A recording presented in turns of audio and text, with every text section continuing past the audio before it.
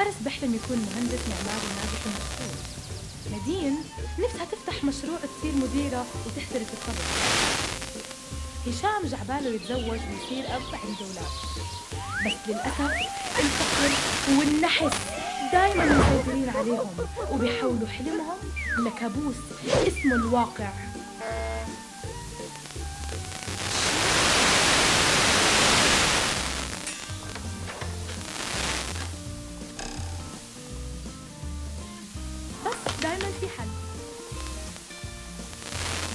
muy con.